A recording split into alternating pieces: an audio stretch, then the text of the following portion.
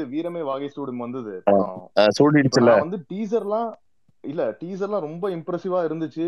போய் பார்க்கணும்னா இங்க என்ன ப்ராப்ளம்னா இப்ப அந்த தியேட்டர் போய் படம் பார்க்கிறது மட்டும் ஒரு விஷயம் கிடையாது. இப்ப நான் வந்து இப்ப பாத்தீங்கன்னா இந்த படம் ரிலீஸ் ஆயிருக்க தியேட்டருக்கு என் வீட்ல இருந்து கிட்டத்தட்ட ஒரு மணி நேரம் கார்ல போகணும். ம், போயிட்டு இது வின்டர் சீசன் வேற. இப்ப. நான் இந்த இத பண்ணி இந்த இந்த குளூர்ல போய் அந்த படத்தை பார்க்கணும்னா அது இன்னும் ஒரு ஒரு ஒரு இது இருந்தா தானே பார்க்க முடியுது. இப்போ பாத்தீங்கன்னா நான் ரொம்ப எக்ஸ்பெக்ட் பண்ணேன். பார்த்தா ரிவ்யூஸ்லாம் ரொம்ப இதா வந்துச்சு. இந்த மாதிரினாலே நிறைய படம் வந்து இப்ப யாருமே போய் பார்க்க மாட்டாங்க இந்த மாதிரி ஒரு விஷயம் பிரதர் இவனுக்கு இந்த நாட்டை திருத்துற படம் எல்லாம் இன்னைக்கு எல்லாம் காரி துப்பிடுவானுங்க பிரதர் நீ எவன் எடுத்தாலும் சரிங்க. இவனுக்கு என்னத்தை திருத்துறானுங்கிறது வந்து உலகத்துக்கே தெரியுங்க. இது ரொம்ப ஓப்பனா சொல்றேன். நான் என்ன கேட்கிறேன்? இவனுக்கு பூரா நான் நாட்டை திருத்துற எல்லா ஹீரோஸ்க்கும் ஒரே ஒரு சாதாரண ஒரு கேள்வி வைக்கிறேன் ஒரு சாதாரண கேள்வி எவனா இருந்தாலும் சரி எல்லாத்துக்கும் ஒரு காமனான ஒரு ஒரு ஒரு ஒரு சின்ன ஒரு பாயிண்ட் வைக்கிறேன். ஏன்னா நீங்க தான் பூரா சொசைட்டிக்கு பூரா புடுங்கி தள்ளுறீங்கல்ல. ஒவ்வொருத்தரும் பூரா ஐம்பது கோடிக்கு மேலதான் சம்பளம் வாங்குறீங்க. நான் என்ன கேக்குறேன் அதுல ஒரு பாதையை கட் பண்ணிட்டு கீழே வரைக்கும் இருக்கிறவங்களுக்கு பூரா பிரிச்சு கொடுத்துருங்களேன். நீ பிரிச்சு கொடுறா. நான் ஆடியன்ஸ் வந்து நான் பர்சனலா நான் ஒரு ஐயாயிரம் பேர்த்து கூட்டிட்டு வரேன் நான் அந்த உன் படத்துக்கு. உன் படம் நல்லா இருக்கோ இல்லையோ கூட்டிட்டு வரேன். முடியாதுங்க. சும்மா இது கேபிட்டலிசம்ங்க அவ்வளவுதான். நீங்க வந்து பாத்தீங்கன்னா நீங்க ஒரு ஐ மீன் நான் இந்த கேபிட்டலிசம் பேசுற ஹீரோஸ் கூட நான் ஓகே அவங்க வந்து ஓகே அவன் வந்து இயல்பு நிலையில் இருக்கிறான். நான் ஒரு கமர்ஷியல் படம் நடிக்கிறேன். நான் நடிகேன் அப்படின்ட்டு போயிடுறான். ஸோ அவங்கள வந்து நம்ம தப்பே சொல்ல முடியாது அந்த ஹீரோஸை ஏன்னா அவன் வந்து பணத்துக்கு நடிக்கிறேன் அப்படிங்கிறத அவன் ஒத்துக்கிறான். ஒத்துட்டு நான் சம்பளத்துக்கு நடிக்கிறேன். அந்த ஸ்டேட்டஸ்க்கு வந்துட்டு அந்த சம்பளத்தை வாங்கிட்டு வெளில போயிடுறான். இவனுக்கு பூரா இவனுக்கு எப்படி இந்த இந்த நாளைய முதல்வர் இந்த நாளைய இயக்குனர் மாதிரி நாளைய முதல்வர் பூரா மனசுக்குள்ள. அடுத்து வந்து பாத்தீங்கன்னா எப்படிதான் செப்டம்பர் மாசம் முதலமைச்சர் ஆயிருவோம். அப்ப அதுக்கு முன்னாடி என்ன பண்ணலாம்? அந்த அந்த மூட்லயே இருப்பானுங்க இவனுங்க எல்லாம் இவனுக்கு பூரா இவனுக்கு செட்டில் போய் பாத்தீங்கன்னா அங்க இருக்கிற அந்த லைட் பாய் லைட் மேனுக்கும் கீழே இருக்கிற அந்த பைக்லாம் வந்து இட்லி வந்து செங்கல்லாட்டு போட்டிருப்பானுங்க. இவனுக்கு ஒவ்வொருத்தனும் பாத்தீங்கன்னா மத்தியானம் கொஞ்சம் சோறு திங்கிறது வந்து பாத்தீங்கன்னா ரெண்டாயிரம் ரூபாய்க்கு சோறு ஆர்டர் பண்ணி திட்டு இருப்பானுங்க.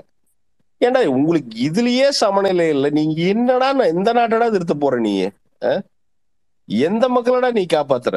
ஏன்டா உன்னை நம்பி இருக்கிற சினிமா கீழ் இருக்கிற ஒரு நூறு பேர் கரெக்டா சோறு போட்டு நீ காப்பாத்த வேண்டிய நூறு பேர்த்து கூட அவன் சாப்பிட்டானா செத்தானா கூட உனக்கு தெரியாது. ஒரு ஒரு போட்டோ பிளேட் இருக்கான்னா போட்டோ பிளேட்னு சொல்லுவாங்க. யாருன்னா இந்த லைட்டு இதெல்லாம் இந்த அட்ஜஸ்ட் பண்றது இந்த மானிட்டர் இதெல்லாம் தூக்கிட்டு போய் அந்த பக்கம் வைக்கிறது இவன்லாம். அவன்லாம் என்ன கஷ்டப்படுறான்னு எவனுக்குமே தெரியாதுங்க. எவனுக்குமே தெரியாது. இப்ப நான் நான் நான் ஒரு ஷூட்டிங் போறேன்னா அந்த இடத்துல வந்து சாப்பாடு சரியில்லைன்னா சண்டை போடுவேன் நான். ஆனா எதுக்குன்னா அது எனக்காண்டி கிடையாது.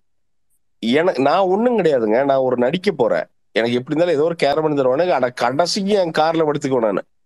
படுத்துக்குவேன். அவன் அப்படி கிடையாதுங்க. அவனுக்கு ஆப்ஷனே கிடையாது. அந்த வெயில்னா வெயில் அப்படியே நின்னாகணும் அவன் அந்த எட்டு மணி நேரம் சிங்கிள் கால் ஷீட் எட்டு மணி நேரம். அப்படிலாம் டபுள் கால் ஷீட் பதினாறு மணி நேரம்.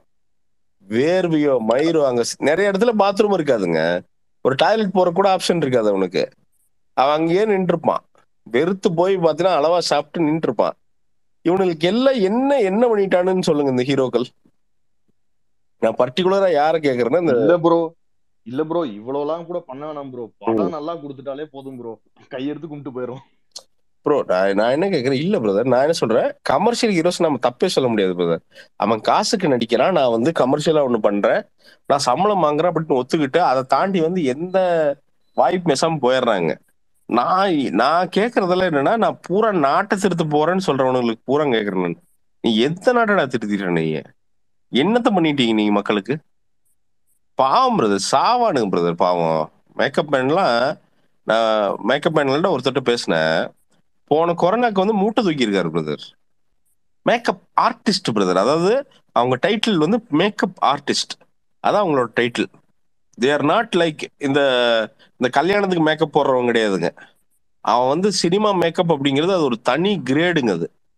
அதுல வந்து பாத்தீங்கன்னா நிறைய இருக்கு. நீங்க பிளட் வைக்கிறதுல இருந்து ஒரு ஒரு ஒரு ஃபேஸை வந்து கம்ப்ளீட்டா அவன் நினைச்சா வந்து ஒரு அரை மணி நேரத்துல மாத்திர முடியும் பிரதர் ஒரு மூடுக்கு ஏத்த மாதிரி வந்து அவனால மாத்த முடியும். அவ்வளவு டேலண்ட் இருக்கிற ஒரு ஆளு கோயம்பேடுல மூட்டை தூக்கி இருக்கான் பிரதர் மூட்டை தூக்கி இருக்கானுங்க ஒரு ரெண்டு மாசம் மூட்டை தூக்கி இருக்கிறாங்க மணிரத்னம் சார் வந்து என்னமோ ஒண்ணுங்க அந்த நவரசா வந்துச்சுல அது நமக்கு பிடிக்கல என்னமோ கருமம் ஆனால் அந்த படம் எடுத்து அதுல வந்த லாபத்தை எல்லாமே மணிரத்னம் சார் வந்து பாத்தீங்கன்னா அப்படியே டிரான்ஸ்ஃபர் பண்ணியிருக்கா அப்படி.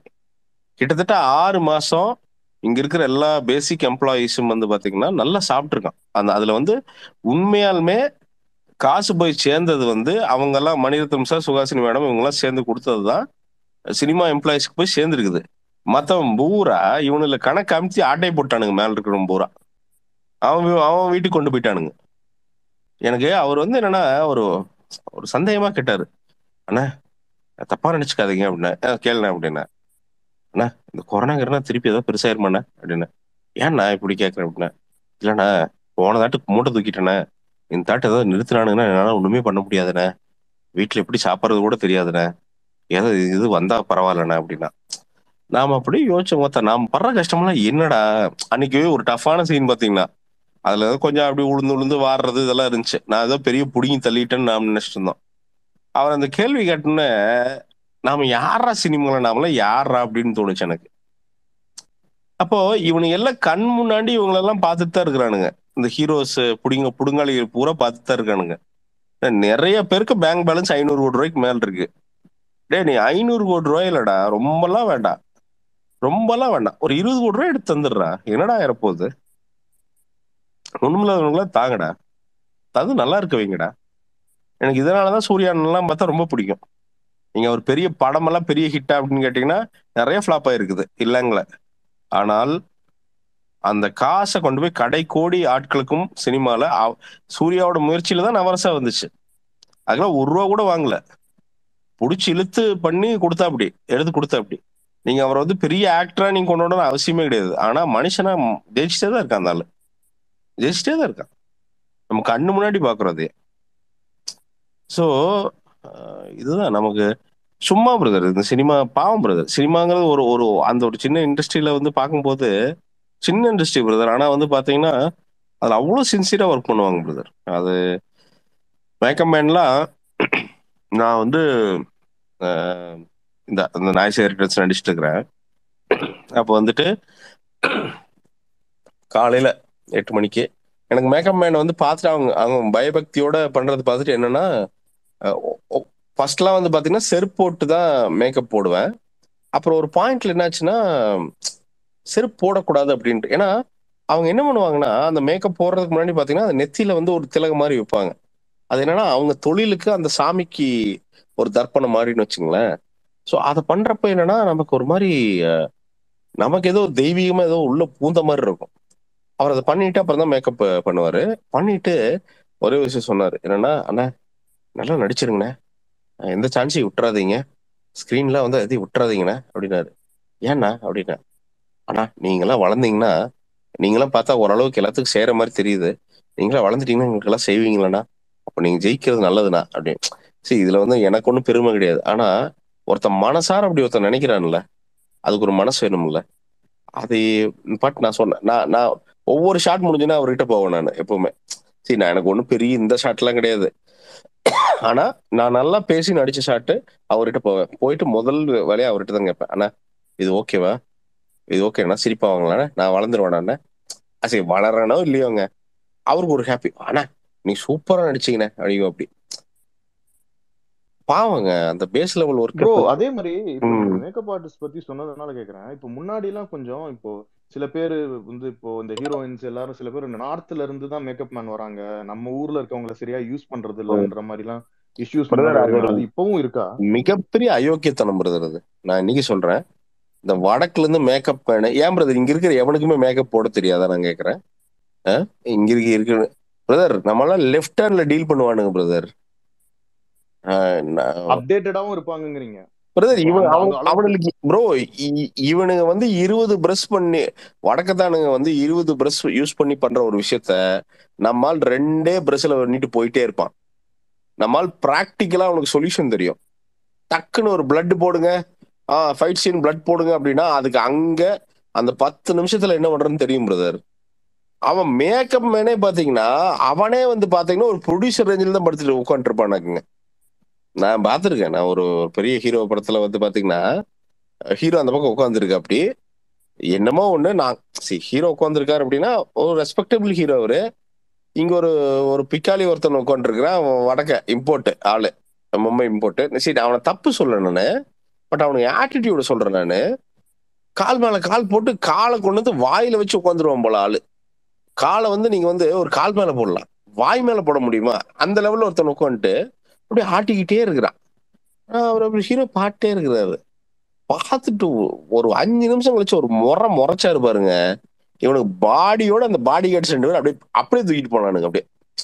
அப்படியே அவனை அவனை கேட்க கூட இல்லை. எந்தரா அப்படின்ட்டு அப்படியே சேர் தூக்கி அப்படி தூக்கி கொண்டு போய் ஒரு நூறு அடி தள்ளி போட்டானுங்க.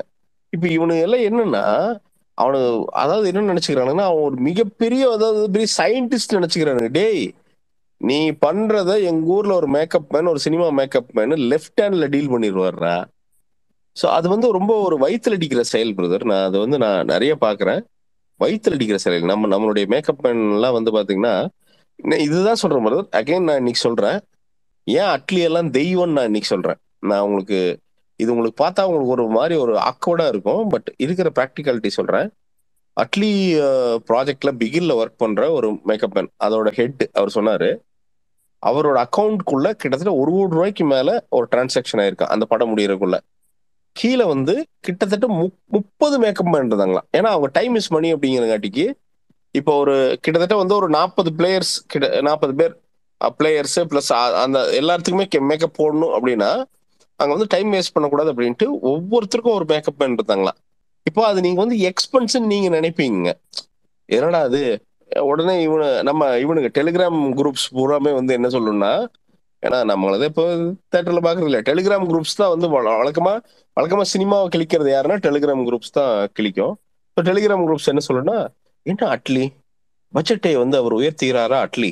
அப்படின்னு வந்து இவனுக்கு பூரா டிஸ்கஷன் பண்ணிட்டு இருப்பானு அது கிடையாது.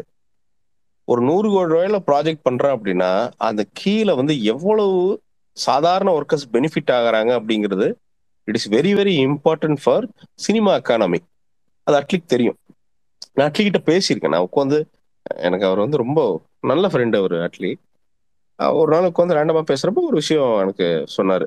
ஆனா இந்த இந்த ஃபுட்பால் சீன்ஸ் இதெல்லாம் வந்து ரொம்ப ஈஸியா என்னால் டெல்லியில் எடுத்துக்க முடியும் பட் அது வந்து நான் மெட்ராஸ்ல எடுத்தேன். ஏன்னா நான் எடுத்தேன்னா எனக்கு ஒரு எனக்கு தெரியும்னா ஒரு முந்நூற்று நானூறு பேர்த்துக்கு வேலை வரும் அப்படின்னு தெரியும். ஸோ அதை வந்து ஏன் நான் மிஸ் பண்ணணும்? ஒரு ஒரு முப்பது முப்பத்தஞ்சு நாளுக்கு வந்து இவ்வளவு பேர்த்துக்கு வேலை கொடுக்குமே அது.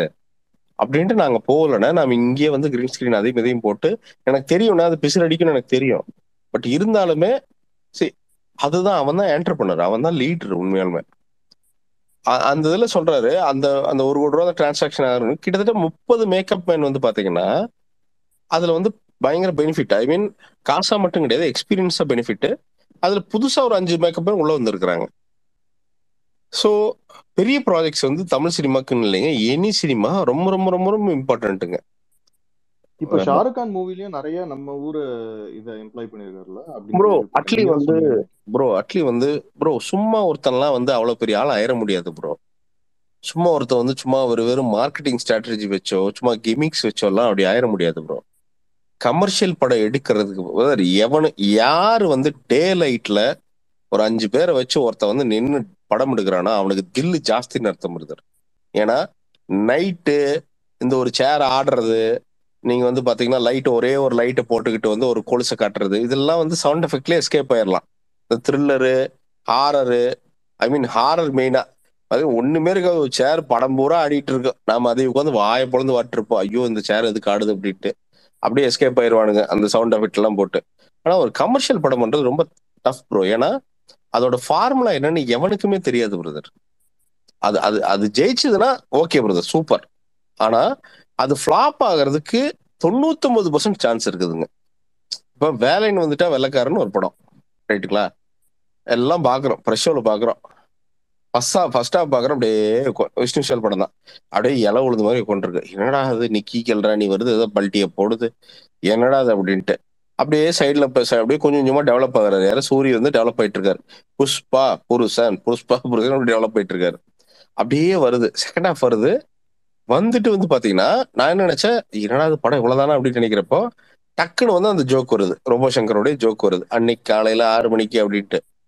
அந்த ஒரு அந்த ஒரு பதினஞ்சு நிமிஷம் பிரதர் மொத்த படத்தோட கலரையே மாத்திடுச்சு வெறும் பதினஞ்சு நிமிஷம். ஆனா இந்த ஃபார்முலா இருக்குல்ல இந்த ஃபார்முலா பிடிக்கிறது இருக்குல்ல ஒரு டைரக்டர் அது ரொம்ப கஷ்டம் பிரதர் எது ஜெயிக்குது தோக்குது ரொம்ப ரொம்ப ரொம்ப ரொம்ப கஷ்டம் பிரதர் ஸோ கமர்ஷியல் படம் எடுக்கிறவன் தான் பிரதர் உலகத்திலேயே மிகப்பெரிய டேலண்ட் யாருக்கு இருக்குன்னா கமர்ஷியல் படம் எடுக்கிறதுக்கு தான் ஏன்னா கண்டென்ட்டா படம் எடுக்கிறது ரொம்ப ஈஸி ப்ரோ ஒரு நெஜ லைஃப் அப்படின்னா அதை எடுத்து ஒன்னா பயங்கர குளோரிஃபை பண்ணலாம். இல்லாட்டி பயங்கரமா வந்து ஒரு ஸ்டாட்டிஸ்டிக் ஐ மீன் இந்த அழுகாட்சியை கிரியேட் பண்ணி ஏதோ ஒன்று பண்ணி ஒரு வித்து போடலாம். ஆனா எந்த ஃபார்முலாவும் இல்லாம பிளெயின் சினிமா பண்றது ரொம்ப கஷ்டம் பிரதர் அது அதனாலதான் வந்து பாத்தீங்கன்னா கே எஸ் ரவிக்குமார் இவங்களுக்குலாம் ஏன் பெரிய மரியாதை அப்படின்னா அதனாலதான். ஸோ அவங்க இன்னைக்கு வந்து சில ஃபிளாப்ஸ் கொடுத்துக்கலாம் பிரதர் பட் ஆனா அந்த ஃபார்முலாவே வித்தியாசமானது.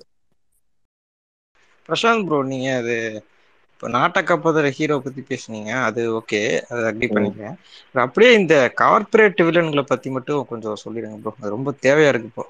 அவனுங்களை இன்னைக்கு கொண்டுட்டோம்னு வச்சுக்கோங்க பிரதர் நான் என்ன சொல்றேன்? கமர்ஷியல் சினிமா நீ எடு சாகு பூமிக்குள்ள போய் எங்காவது போய் எரிஞ்சு போ. என்ன?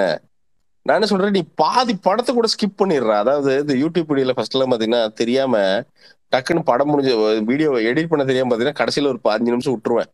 பிளாங்கா கருகருன்னு வரும். டே கார்பரேட்டோட வில்லன் வர இடத்துல அப்படி கருகருன்னு விட்டுருங்கடா. எவனோ லவ்வர்ஸ் நாலு பேர் வந்தானா அவனா கிஸ் அடிச்சு நிம்மதியாவது இருப்பான். என்ன? கார்பரேட் உள்ள வரான்னு வச்சுக்கோங்க ஒரு பத்து நிமிஷம்னா அந்த இடத்துல இப்பொழுது கார்பரேட் வில்லன் வருகிறார் அப்படி என்று நினைத்து கொள்ளவும் அப்படின்னு ஒரு டைலாக் ஒண்ணு போட்டுட்டு என்ன? கருகருனே விட்டுருங்கன்னு நான் ஸ்கிரீனை பத்து நிமிஷம் அவன் லவ்வராவது அவனுக்கு ஏதோ பேர் ஏதோ ஜோடியா வரானு பாவம் வயசு பசங்க. அவனாவது நிம்மதியா இருப்பான்.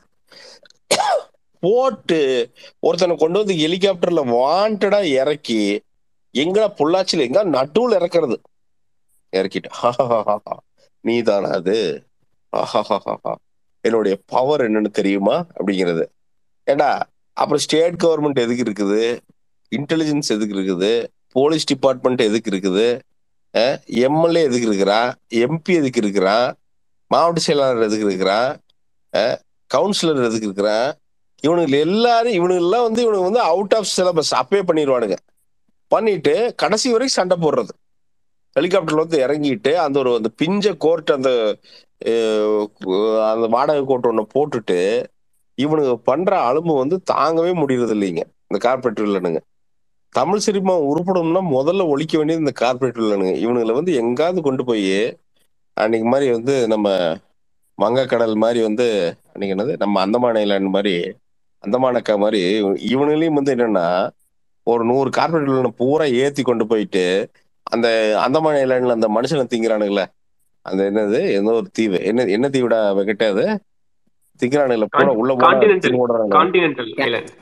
கான்டினென்டல்ங்கிறது ஈசிஆர்ல இருக்கிற ஹோட்டல் அது இல்ல. அது தெரியல கேனிபல் ஐலாண்ட்னு சொல்லுவாங்க. பேர் கரெக்டா தெரியல அதுக்கு. அதான் அதாவது கான்டினென்டல் அது அந்த அந்த அந்த ஐலாண்டுக்குள்ள இறக்கி விட்டு வந்துடணும் இவனுக்கு பூரா தின்னுடுவான்னு நினைக்கிறேன்.